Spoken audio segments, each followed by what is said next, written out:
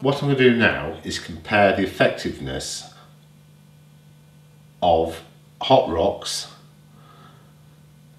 and rock salt in preventing water from freezing. That's 50 mil in each tray. Let's salt.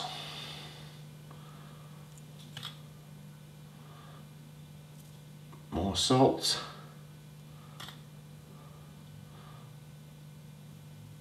That's four salts. So that's your sodium chloride. And in the other tray,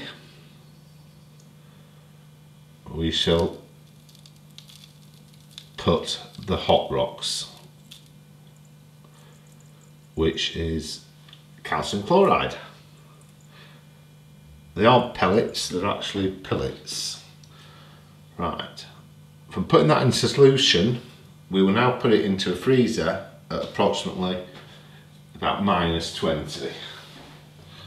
Let's take these. We shall now put our HotRocks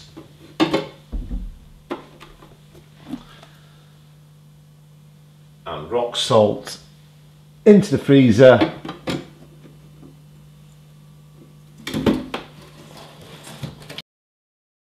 Twenty-four hours later, shall pick.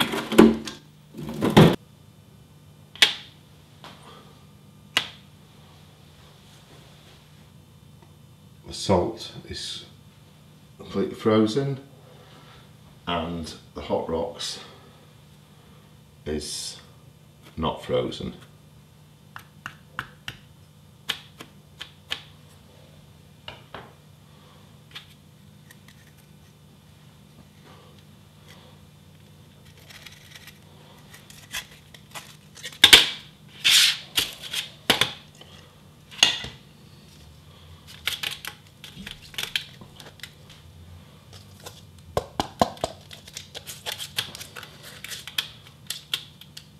And that's at minus 20 for 24 hours.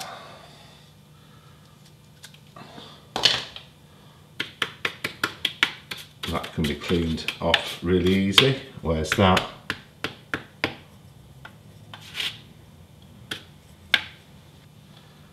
And the HotRocks is still active, melting it very quickly.